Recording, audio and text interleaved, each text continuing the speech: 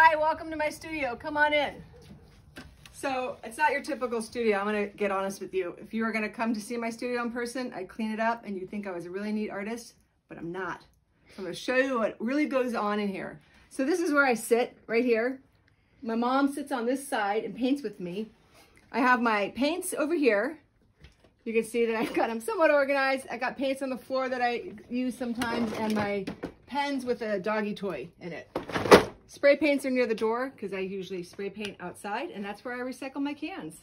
So anyways, come on in. Watch out for my dogs down here. And my mound of rags that are gonna go in the garbage soon.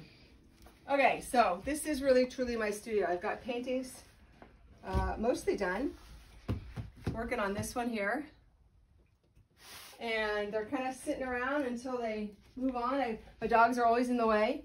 Um, I like to actually paint on the ground. So I usually have a lot of stuff here. I've got my rags, my water, and so um, I've been working on a couple paintings here. I often paint, like I said, on the ground. And so I put my, ah, don't look at that one. That one's not done. Working on this one. I put my paintings on the ground and I work um, using all my tools and things here. So these are a lot of my tools. I think I told you three times I work on the ground, but that's okay. So this is where the magic happens and sometimes doesn't happen.